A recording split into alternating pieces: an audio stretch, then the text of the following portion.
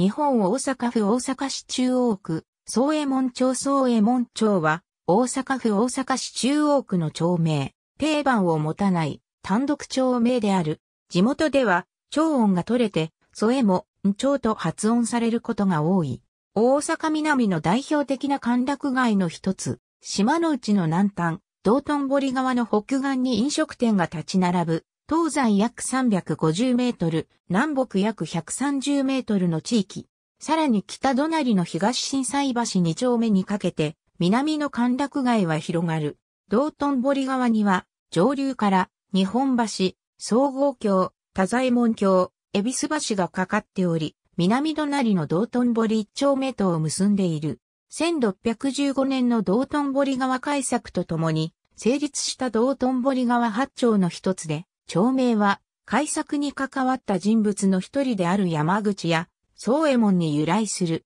1872年の町名改正までは、道頓堀総右衛門町。江戸時代初期から花町の性格を帯びていたが、1842年に茶屋や風呂屋が一旦整理された。しかし、1857年には茶屋株50軒が免許され、以降昭和初期まで南地五加害の一つとして繁栄した。1989年の町名改正により、震災橋筋2丁目の震災橋筋伊藤かつ、総右衛門町通り南、畳屋町の畳屋町筋伊藤かつ水戸寺筋南、笠谷町、玉野屋の町、千年町のそれぞれ水戸寺筋南、長堀橋筋2丁目の境筋伊勢かつ、水戸寺筋南を編入し、現在の町域となった。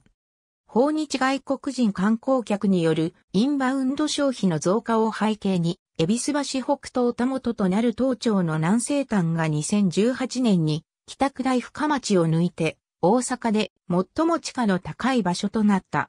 1970年に地下の工事が始まって以来、曽根崎中一丁目、小松原町曽根崎新地一丁目梅田一丁目、道島一丁目角田町梅田一丁目大深町と、すべて北の町々に占められていた周囲の座に初めてついた南の町となった。2019年3月31日現在の世帯数と人口は以下の通りである。国勢調査による人口の推移、国勢調査による世帯数の推移、恵比寿橋多左門橋主要地方道1972年にはこの街の名を取り入れた歌謡曲、総右衛門町ブルースが発売され、200万枚の大ヒットを記録した。それ以前にも1967年発売の大阪ブルースや1970年発売の大阪流しなどの歌詞に総右衛門町が登場しているが、曲名に用いられた例は珍しかった。ありがとうございます。